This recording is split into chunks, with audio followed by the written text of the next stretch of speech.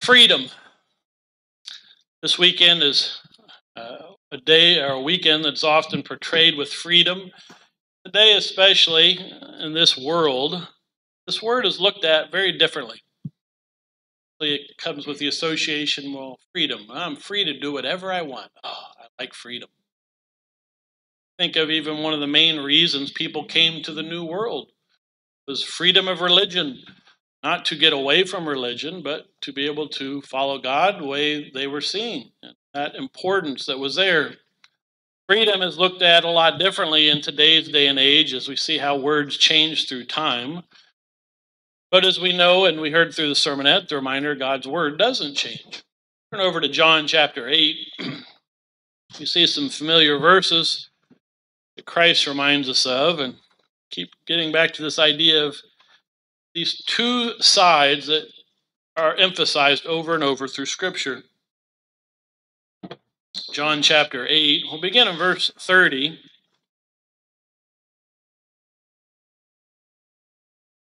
John 8 and verse 30.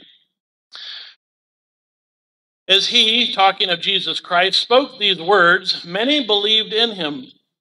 Then Jesus said to those Jews who believed him, if you abide in my word, you are my disciples indeed. And you shall know the truth, and the truth shall make you free. This free, free, free to do what you want. Follow God's ways. Think of how important this is. And this reminder, verse 32 is often quoted as a memory scripture. Not free to sin, free from sin free from that way of life and free to live a different way of life. I think as we've looked at the two choices that continue throughout the Bible, so we've kind of gone through this theme through the past few sermons. God sets before us life and death. Deuteronomy 30, He sets before us the give way of life, the get way of life. Before us, will you defend the truth or will you deny the truth? Will you fulfill God's word or will you destroy looked at last week. Many say Christ was destroying God's law, which was couldn't be further from the truth. We see these two ways continually come up through Scripture. Today we're going to look at a section of Scripture that Christ emphasizes these two choices. Sermon title for today is Narrow or Wide? Narrow or wide? No, I'm not referring to your width shoes. Shoe width got wide shoes, narrow shoes. Uh, we have something else. Turn over to Luke chapter 13. Luke chapter 13. Section we all often think of in the Sermon on the Mount, and we will get to that portion that sums this section up in two verses. There's a lot more that we see here in Luke 13. We'll begin in verse 22. Luke 13, verse 22.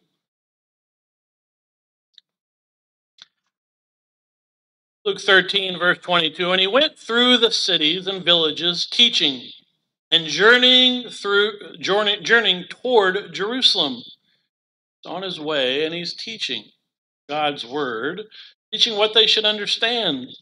And here comes a question, verse 23, a legitimate one, wasn't trying to trick him up. Then one said to him, Lord, are there few who are saved? Are there few? The the, opposite of the world that you know there's so many being saved we have to hurry up and start saving more. We got to make sure they say christ's name and they'll be saved and we'll make sure they don't burn in hell for all eternity. This question saved are few being saved. This word for saved can also be translated deliver. Word meaning gives it the meaning of involves the preservation of life either physical or spiritual. Think of more important, spiritual. To die for what we what God's word shows. Turn over to Luke chapter 17. Keep a bookmark here. Back and forth as we think of this question posed. There are few who are saved. Same word appears here in chapter 17, verse 33. 17, verse 33 Whoever seeks to save his life will lose it, and whoever loses his life will preserve it. Think of this importance. Do we seek to just save our physical life? This past year, it's been an important question. Is it just something our physical life is the most important? We continue to follow God no matter what. This word saved is the same one that we saw in previous section in chapter 13. And this reminder, baptism, only give your life God's ways, or willing to give it. Be willing to lose it to actually gain it, to preserve it, and to see what that future holds. You don't have to turn there. We went there a few weeks ago. Revelation 12 and verse 11 refers to the saints overcoming Satan by the blood of the Lamb and by the word of their testimony, and they did not love their lives to the death. We see this priority of life is the spiritual over the physical. An importance of, all right, if we have to give our physical life, it's more important. Physical life or the spiritual? How much more important that spiritual life in God's family for all eternity? That choice still has to be made. We see back in Luke chapter 13 that this original question gets asked, and some regards you may think, well, this seems a little bit off topic. See, he doesn't give a yes no answer here, that he gets into something deeper. Are there few who are saved? Verse 23 And he said to them, Strive to enter through the narrow gate. For many, I say to you, will seek to enter and will not be able. Verse 24 flies against everything in this world's worldly Christianity that, oh, all you got to do is say Christ and you're good to go. You're saved. You're you don't have to worry about anything else. Christ says, and he will seek to enter and will not be able to. He begins this verse in verse 24 with a, a powerful word strive to enter through the narrow gate. This word strive is a strong word in the Greek. It's Strong's number 75. Agonizomai which sounds a lot like where we get our word agonize. Thing we put effort into. You agonize over this, to work at, to force yourself to work at this. We think of this importance to strive. The Greek means to contend for victory, to fight for. Again, also be translated fight, wrestle. And we're to put energy into. Turn over to First Timothy chapter 6. And these quick words, strive to enter, gets kind of glossed over quickly, but how much emphasis is on this strive?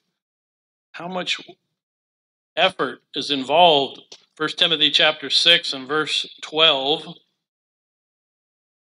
1 Timothy 6 in verse 12. Fight the good fight of faith. This word, first word for fight is the same Greek word we're looking at for strive. Strive for the good fight. Fight. Same word, fight. The good fight of faith. Lay hold on your physical life. Your verse says either lay hold on eternal life, to which you were also called and have confessed the good confession in the presence of many witnesses.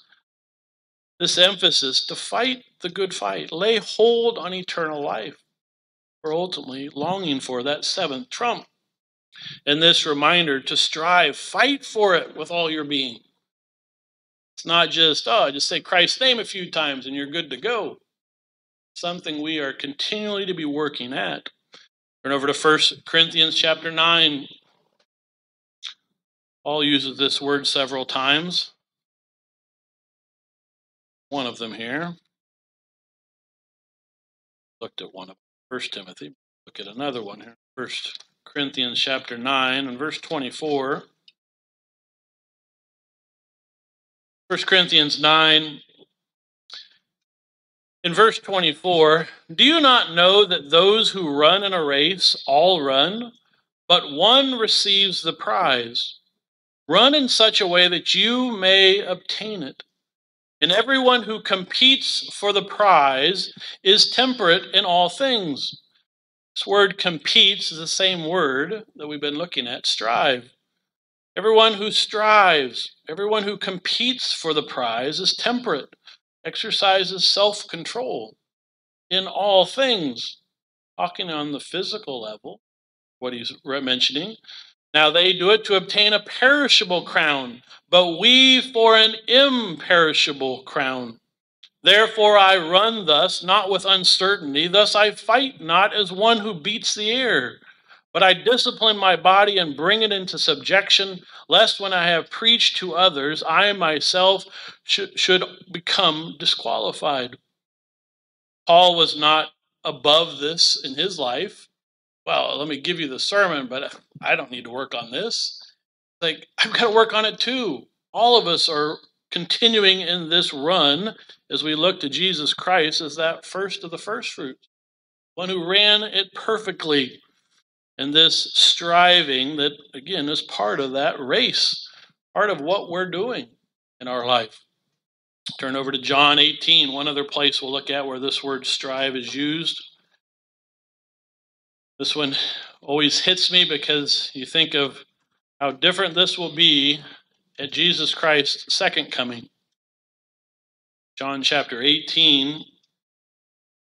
In verse 36, goes along with what we heard in the sermonette. We think of all the things in this world, we get caught up in the politics. We say what Christ says, something that we really believe. Christ in verse 36, Jesus answered, My kingdom is not of this world. If my kingdom were of this world, my servants would fight, so that I should not be delivered to the Jews. But now my kingdom is not from here. This word fight, my servants would fight, same word for strive in the Greek. Here we see in a reminder the second coming of Jesus Christ will be different. Where he reminds them, it's my time to die. Oh, the things that I have to go through. My kingdom is not of this world. All the men and women of faith understood in Hebrews 11. That reminder to us. Our kingdom is not of this world. Yes, we live in blessed nation at this point. see it quickly falling apart, which is sad to see. Again, it comes from not following God's ways. What we are to be striving for is a kingdom to come Remember Matthew 6:33 to seek first the kingdom of God and his righteousness. This word strive has a lot to it. Turn back to Luke chapter 13 where he begins this answer with strive. Strive to enter through the narrow gate. This word narrow the King James, if you have it, is translated straight, the straight gate. Greek word simply means straight or narrow. Simply translated, this narrow or straight, it only occurs three times. Of them we'll see in Matthew's account in two verses. But this simple, this straight and narrow, this narrow gate. This word for gate can also be translated door, not as think of as a door here into a building. Think of this massive gate, this massive door, this entrance to a city, a major thoroughfare. Enter through the narrow gate. You think of strive to enter through the narrow gate. Why is this something we are to be working at so diligently? Again, he says, For many, I say to you, will seek to enter and will not be able to. Many will seek it.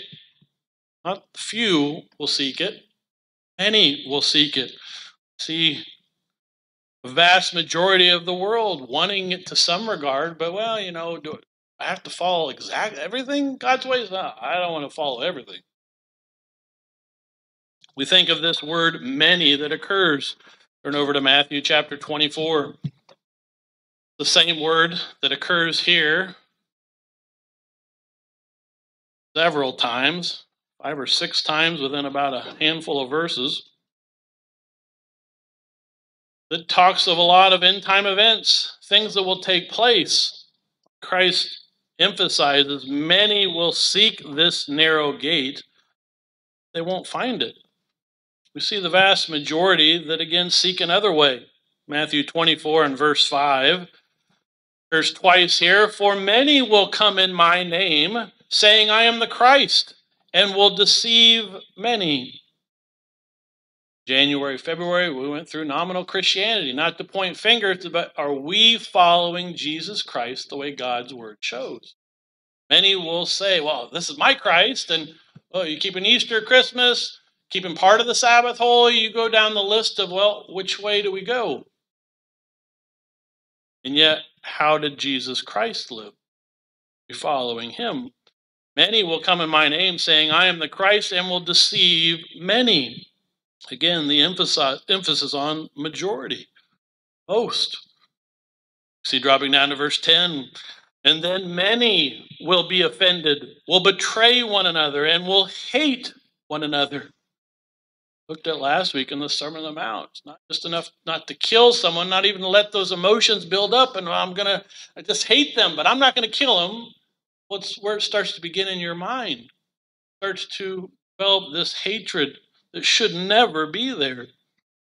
And this offense that occurs to many. Verse 11 Then many false prophets will rise up and deceive many. And because lawlessness will abound, the love of many will grow cold. We think of many occurs so many times. Many occurs many times. Many, many. We think of how much of this majority. Well, no, the vast majority are going to believe Christ.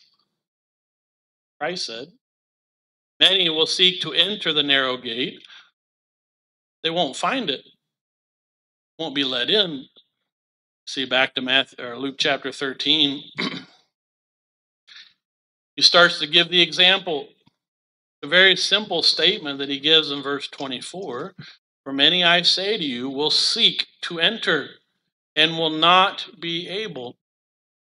They'll seek it, but they want it on their own terms. Well, I don't want to have to follow all God's laws. How, how about just some? I want to partially follow, but I'm a Christian. We follow with our whole heart, mind, and soul. Verse 25, he goes through the example.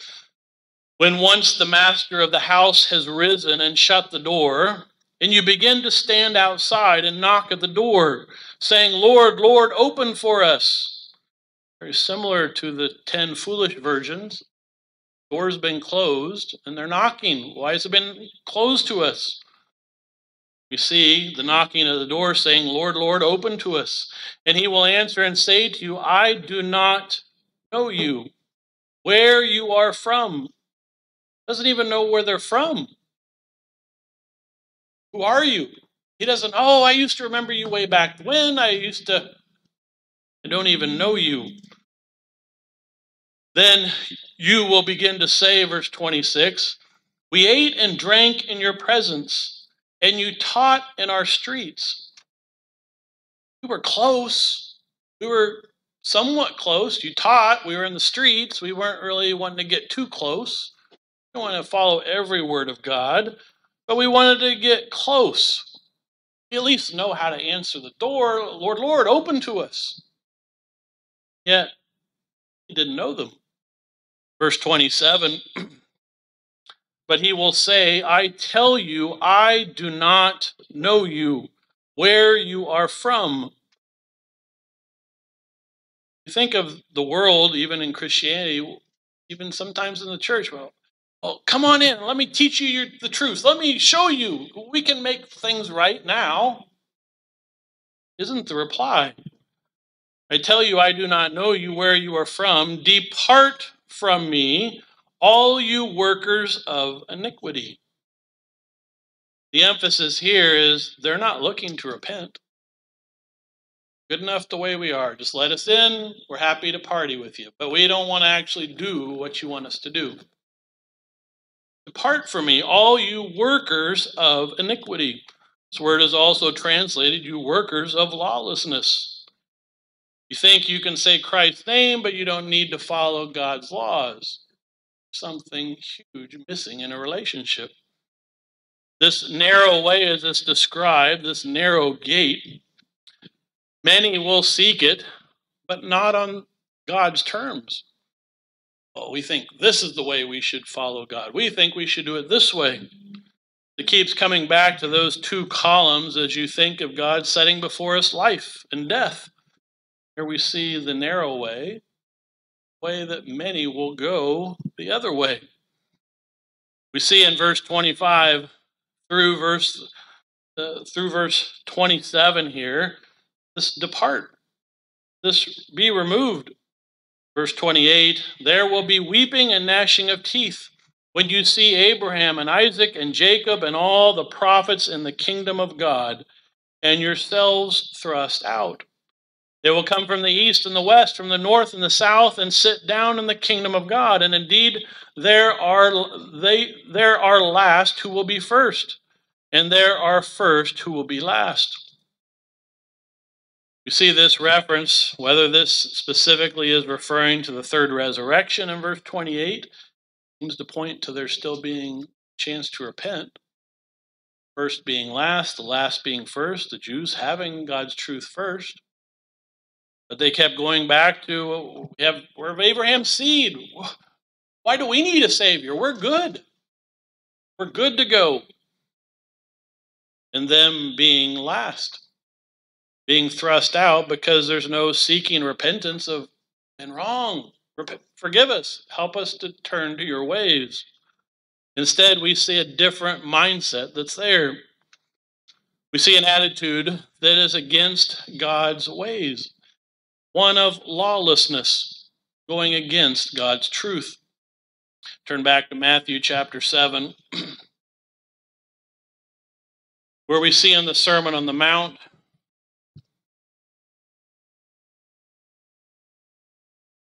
these two verses, and Luke's account follows after this. It's something again Christ emphasizes over and over. Emphasizes it after, it brings out more details in it in Luke's account. And yet, here in Matthew, we see two simple verses with a lot of meat in it as well, but also around the same section. So much of that reminder being aware of false prophets, what we've already looked at in Luke's account. Being careful, false prophets will come and deceive many. You looked at in Matthew 24. And what sounds very similar, verse 21 through 23, where they're going to knock. They want to know. We enter. Then we do all these wonderful things, prophesying, casting out demons, doing many wonders. The same reply, I never knew you. Verse 23 Depart from me, you who practice lawlessness. You're not trying to overcome, you're not trying to repent, you're practicing lawlessness. Instead of doing the will of the Father in heaven, lawfulness.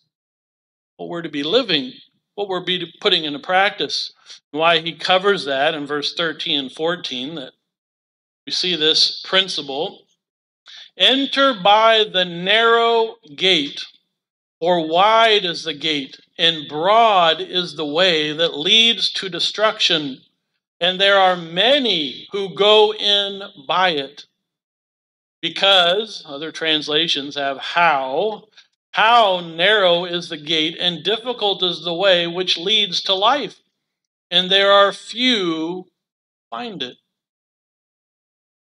These two ways that are shown here, these, these two gates as we see, has a lot in it. Here we see in verse 13 the same word for narrow that we saw in Luke's account.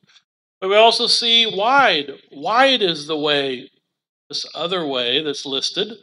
Word wide is also translated broad.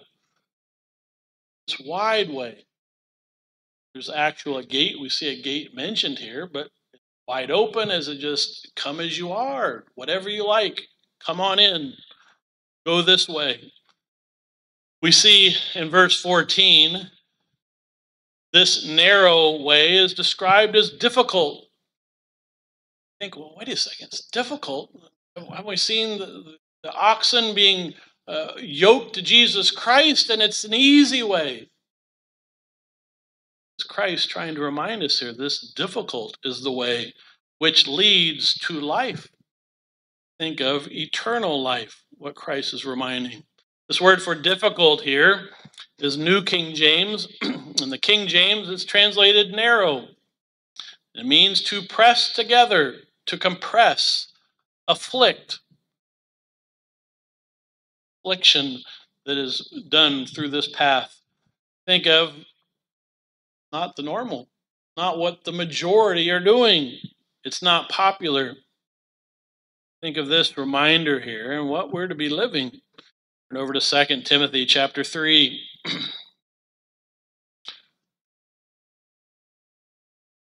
2 Timothy 3. Put a bookmark if you haven't already left Matthew, sorry. Hebrews, or sorry, 2 Timothy 3, verse 12. This section we looked at some of last week. This precedes this section, and this reminder of evil men, impostors, will grow worse and worse.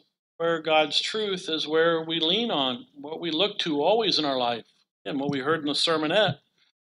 But this reminder here, verse 12, 2 Timothy chapter 3, verse 12. Yes, and all who desire to live godly in Christ Jesus will suffer persecution.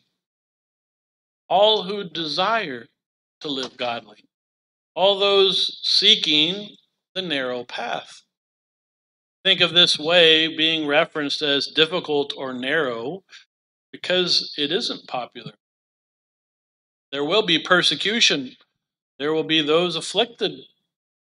Verse 11, you can put in your notes, verse 37 with, towards the end of that chapter, we see the men and women of faith and the listing of them being killed, afflicted for the truth. And word afflicted is the same one here for narrow in God's ways and being afflicted for it. Not because God's ways are difficult and we can't possibly do them, but because I'd rather go with the flow. I'd rather be popular and not be looked down upon by friends or family. I don't want to go against the rough majority. You think of Matthew 7 and verse 13 through 40. There's a good commentary. It's a, a book that goes through this section. It's it's decent. I, sometimes I'll recommend books. Um, this one is The Message of the Sermon on the Mount by John R.W. Stott. John R.W. Stott, The Message of the Sermon on the Mount. Again, gives, gives good background, but misses the big picture at times. Here's one. It gives great background on Matthew 7 and the narrow way versus the wide. It gives great parallels. And yeah, John Stott keeps Christmas, Easter. Which path is he on? Where's the living God's ways? All of them. It's interesting when you look at verses 13 through 14 of, of Matthew 7. You get four sets of twos. I'm going to briefly go through these. These four sets of twos here that we see in Matthew 7, verses 13 through 14. So we've seen each of these already to some extent. We see clearly there are two ways. The very first of these, there are two ways. There's the hard way, quote unquote, the difficult, narrow path. And then there's the easy, quote unquote. Part of it. it is not really easy when you look at all the curses that take place down that path. But it's called, quote unquote, easy, the broad, the spacious, the roomy path that you can go down. These two ways. We look at this narrow way that's talked of here and the wide way. We think of the narrow, talks of boundaries are clearly marked. Yet we see the other, wide and easy, quote unquote, because hey, there's no boundaries. They can walk wherever you want. Well, you fall off a cliff. Well, you know, you can walk wherever you like. You still suffer the consequences. The narrow way restricts pilgrims to the confines of what God has revealed in Scripture to be true and good. Here's what God's ways are and how blessed they are. Here's what we want to live. The other way, we see plenty of room on it for diversity of opinions and laxity of morals. The road of tolerance and permissiveness. No curbs, no boundaries of either thought or conduct. Follow your own inclinations. Think of, again, the narrow way God's holy, righteous, and perfect laws that show how to live, how to truly love God and love mankind. So different from the wide path. We see with God's ways of the narrow the belief. I believe. I believe God's word. You see, the wide path, I believe, turns into I feel. Uh, I feel that doesn't really apply to me. I feel nothing is to be obeyed or believed. Well, you shouldn't kill me, but everything else is kind of game. Whatever works best for you. You think of this reminder in our life. Over to Matthew chapter 11. Because this narrow gate, often translated, again, difficult or strait, because it's going against the majority. Still reminds us what it's like. It's Christ's words. We looked at it, I think, back in November, Matthew 11, verse 28 through 30. Matthew 11, verse 28. Come to me, all you who labor and are heavy laden. Heavy laden, heavy stressed. Think about being in the world, how it feels. Oh, stressed out and I will give you rest. Take my yoke upon you and learn from me, for I am gentle and lowly in heart, and you will find rest for your souls. For my yoke is easy and my burden is light. Christ reminding us when we're going on the path, not struggling as we looked at that yoke, and you're not pulling it. Christ's like, you can do it. Keep at it. We can do this alongside, helping that first the first fruit, showing us perfectly how to run the race, how to keep on the perfect narrow path. We're reminded of that as we see the wide path, revealed truth imposes a limitation. Look at even school, what gets taught all through the years that I remember, and even now it probably is it gets worse. Broaden your mind, Broaden your mind, accept the new ideas, bring in the things to broaden, make your mind wide instead of digging into God's truth. We think of this reminder in our life and what we're to be living. Deuteronomy 6, verses 4 through 7, putting it in our heart, teaching it to our children, how much, again, God's laws are perfect, living them, striving in them every step of our life. We see these two ways throughout the Bible, and we see perfectly described as the giveaway versus the getaway. You see Cain versus Abel. You see life versus death. Psalm 1, we won't turn over there right now, but we see the way of righteousness versus the way of the wicked. See the narrow way versus the wide. The way of the righteous delights in God's laws bears fruits and prospers. The way of the wicked, driven like chaff before the wind, and perish. You see this first of these two ways that are Matthew 7. The second, we see the two gates. Two ways. They have some form of a gate on each one. Kind of argue the wide is seems like it's just wide open, just, just come on in. There's no need to worry about anything. You see two gates, specifically the narrow and the wide again. The narrow, you have to look for it. Not easy to find and easy to miss. Ultimately, God the Father has to call you to open your mind to it. John 6, verse 44, that reminder of his calling in our life. Feel it. People come in and, oh, I missed it all these years? Like, because God has to open the mind. Think of that reminder that God the Father calls and He leads us to repentance. Romans 2 verse uh, Romans 2 verse 4 reminds us that the goodness of God leads you to repentance. You still have to repent, and I've seen many people come through the door excited, oh, and then well, I have Trinity's not true. Well, that's what I've been taught all my life, and got to keep the Sabbath every week. And you see the struggle. Well, you know, I don't know. It's not going to be popular with my family. Uh, but you put first. Follow the wide. Well, that's where my family is, and that they're popular. Well, they'll accept me if I go that way. Where does it lead? Think of God's calling in our life, and the goodness of God leads you to repentance. You still have to repent. You have to Yes, I do have to repent. I am going the wrong direction. I've got to go God's way. And that reminder in our life. The wide gate, as we see, is simple to get on the easy road, open to all. No limit to luggage you take with you. It includes all your sins. You get to take them all on the wide path. We think of leaving nothing behind. Self righteousness, pride is a must. But Your sins, baggage continues to go with you. The narrow way, you leave everything behind.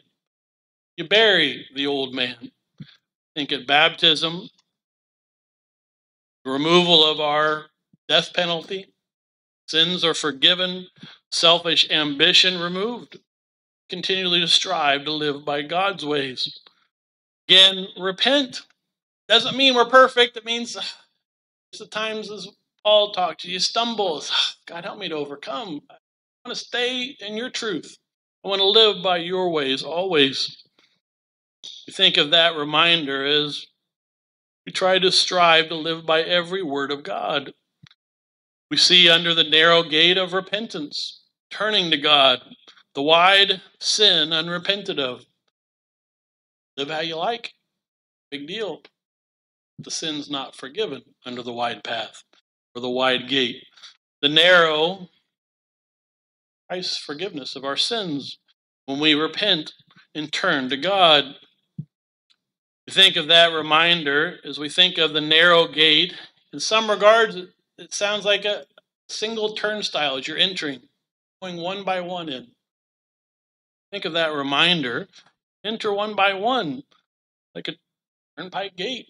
Going in, and it's like, oh, you're all alone, just you and God. That's it. Turn over to John chapter 10.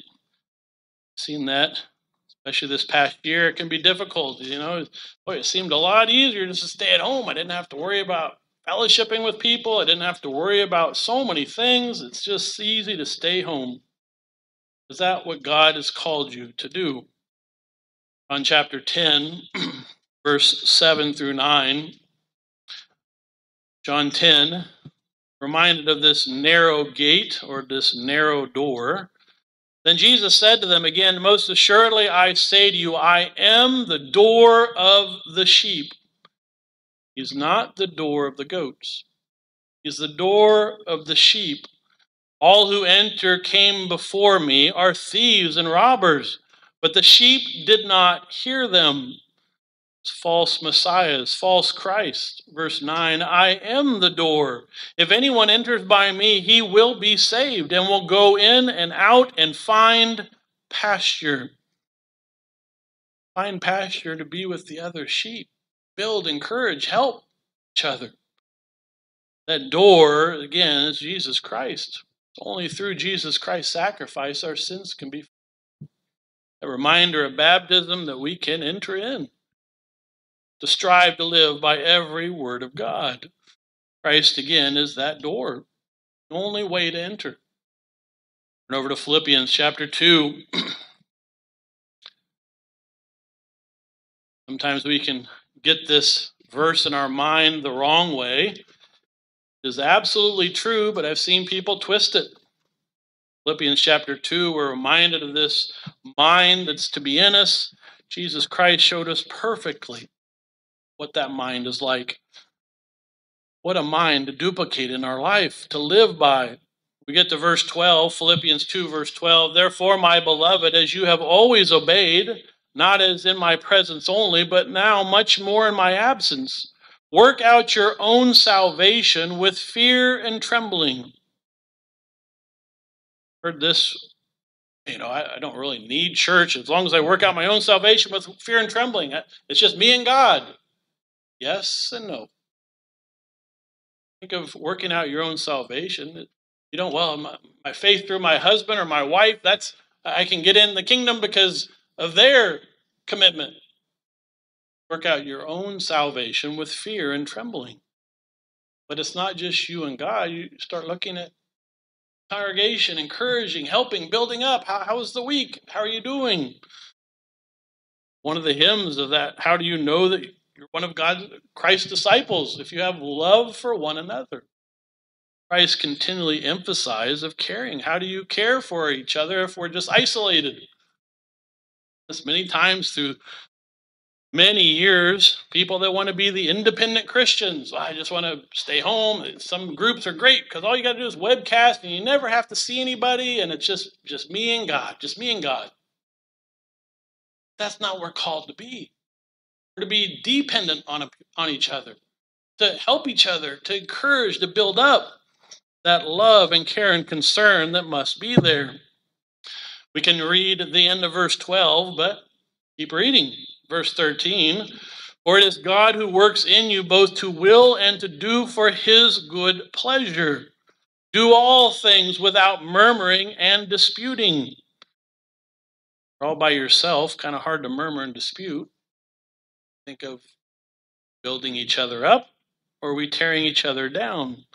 Caring for each other that goes through children of God and the family called to enter through that door, Jesus Christ, to a pasture, to care for each other as sheep, as fellow sheep, to look out for each other, dependent on one another. Again, the narrow way. We think of this third section as you turn back to Matthew, but think of these three. Uh, this fourth one, uh, four of them. This is the third one. We look at two ways, two gates we're also reminded there's two destinations. Two destinations. You have life, you have destruction. Life and destruction. Think of prospering, perishing. Think of Deuteronomy 30, we looked at a few weeks ago. God sets before us life and good, sets before us death and evil. Which do we choose? Turn over to Jeremiah Jeremiah sums this up as well in chapter 21 and verse 8. Jeremiah 21, verse 8.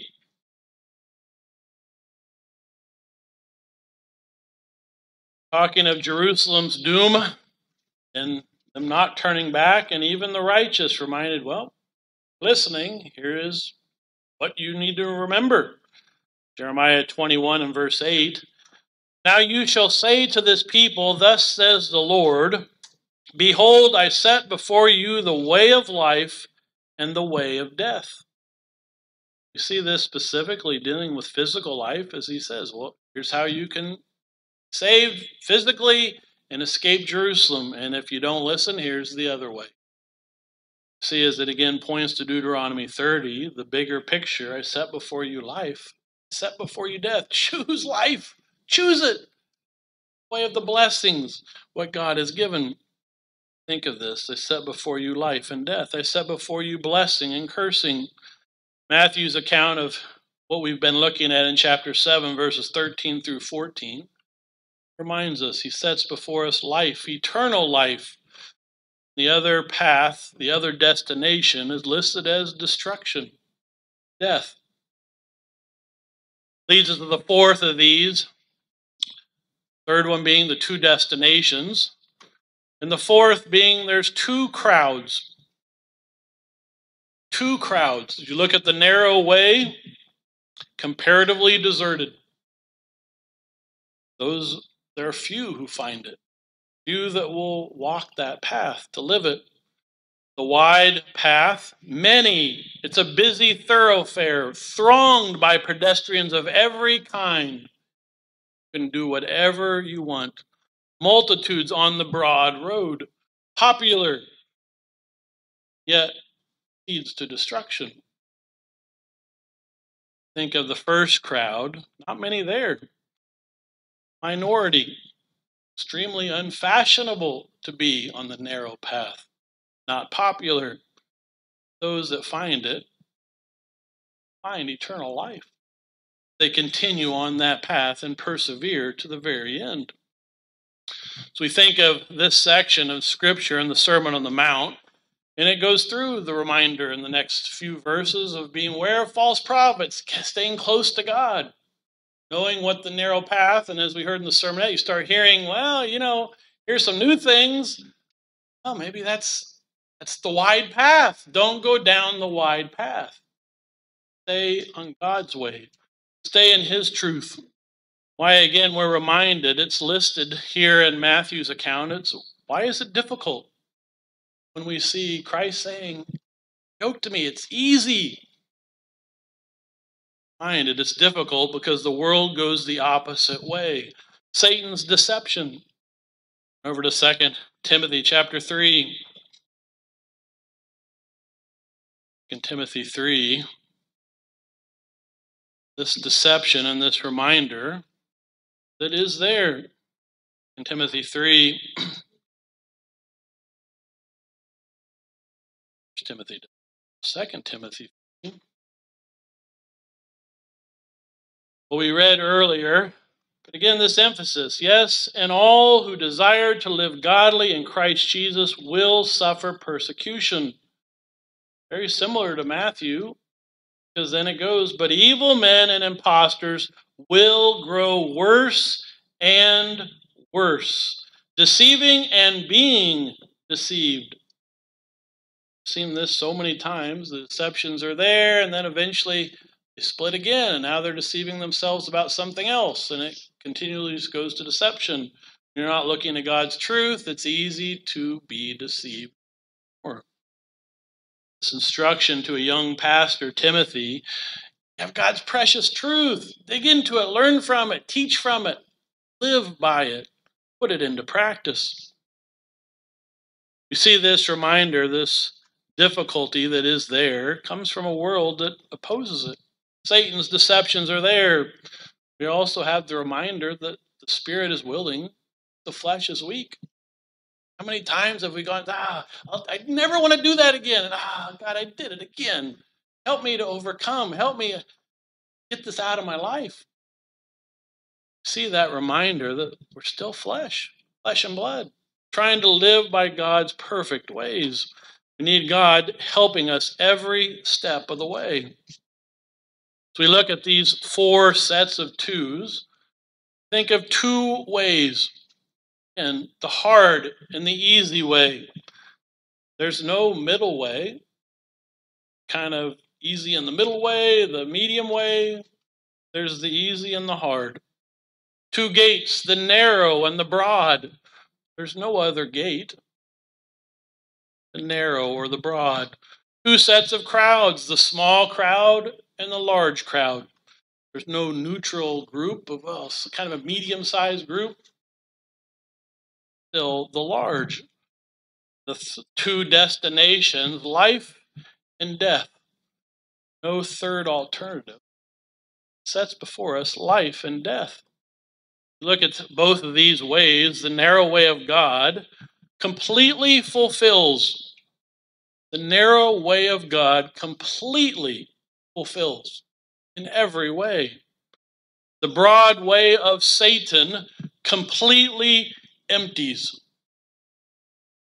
Seemed popular for a while. Boy, things are going great but it still leads to destruction. Broad way of Satan completely empties. Turn over to Psalm chapter 1. I referenced this earlier, and I love this hymn. Sometimes it, well, you know, this is just kind of the basic hymn. It's number one. Yet we see both of these ways that Christ describes shows us this reminder in our life. What are we choosing? Psalm chapter 1 and verse 1. Blessed is the man who walks not in the counsel of the ungodly. You're not going to the wide path. Well, can I get some input from you? I see you're going the wrong way, but what do you think about? Why ask their input? Go to God's input. Let's learn from it. Blessed is the man who walks not in the counsel of the ungodly, nor stands in the path of the sinners, and even in the path, the wide path. Nowhere near it, nor sits in the seat of the scornful, but his delight is in the law of the Lord, and in his law he meditates day and night. word meditates in the true meaning goes through the pondering by talking to himself. Think about how many times you think on a verse. I always, even if you don't have a lot of time in the morning, it's great to make good time for Bible study, but having some Bible study and how many times you kind of think about the verses you read through the day. That applied to this. Wow, that's awesome. And you think about it. Think of what's God's laws. God's laws are spit on in this world. Well, let's see what the world thinks. What, what does the world think I should do here? cares what the world thinks. What is God's word? Let me dig into it. Let me think about it. Let me ponder it, meditate on it day and night. Verse 3 He shall be like a tree planted by the rivers of water that bring forth its fruit in its season, whose leaf also shall not wither. And whatever he does shall prosper. Because he's living God's ways putting it into practice. We see the other path, verse 4 the ungodly are not so, but are like the chaff which the wind drives away. Therefore, the ungodly shall not stand in the judgment, nor sinners in the congregation of the righteous. For the Lord knows the way of the righteous, but the way of the ungodly shall perish see these two paths shown clearly Psalm 1. This reminder less than happy is the man, the narrow way. You see the wicked happens. Chaff like the wind flown away. Think of that destruction and what it leads to. Turn finally over to Psalm 112. Sabbath verse. Pastor's letter yesterday so much in this chapter. Again, reminds us of the same principle in Psalm 1. Psalm 112, we had verse 1 in there, but there's so much in this entire chapter. All of them do. On 112, verse 1, praise the church member who's been in the church for so many years. I like to misquote it. Uh, but it helps. All right, where does the praise go? God calls us out of this world. Thank you for out of this world. Help me to stay humble. Help me to know where the blessings are coming in my life. Praise the Lord. Blessed is the man who fears the Lord. This fear, again, this awe, respect, we're looking to in our life. Understanding his ways are perfect who delights greatly in his commandments. It's not, eh, you know, I kind of like them. Yeah, they're pretty good. Yeah, they're nice. Who delights greatly in his commandments. So you see that understanding develop as you break one of them and, oh, that did not feel good. Oh, there's the curse from it. Oh, I don't want that. I greatly desire God's laws. Perfect their righteous, their holiness. Verse 2, we see more of this Blessed is this man. His descendants will be mighty on earth. The generation of the upright will be blessed. Wealth and riches will be in his house, and his righteousness endures forever. Because it's not his righteousness. He's seeking first the kingdom of God, God's righteousness. That's why that righteousness stands or endures forever. Verse 4 Unto the upright there arises light in the darkness. He is gracious and full of compassion and righteous. And compassion. It's not just you and God. Caring and looking out for others. How, how can we help? Full of compassion. A, man, a good man deals graciously and leads and lends. He will guide his affairs with discretion. Surely he will never be shaken. The righteous will be in everlasting remembrance. He will not be afraid of evil tidings. His heart is steadfast, trusting in the Lord. His heart is established. He will not be afraid until he sees his desire upon his enemies. Continues to endure to the end. Verse 9 He has dispersed abroad, uh, he has given to the poor. His righteousness endures forever. His horn or strength will be exalted with honor. I like this chapter because you only get one verse of the other side. See all the blessings from the narrow path.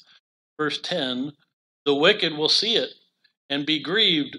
He will gnash his teeth and melt away. The desire of the wicked shall perish. Don't go down the wide path.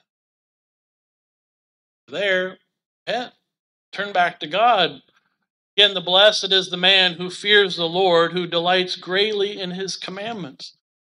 Something we reflect on, think on, dig into. Again, are always in our mind, thinking what God wants us to do in our life, as they're the perfect way.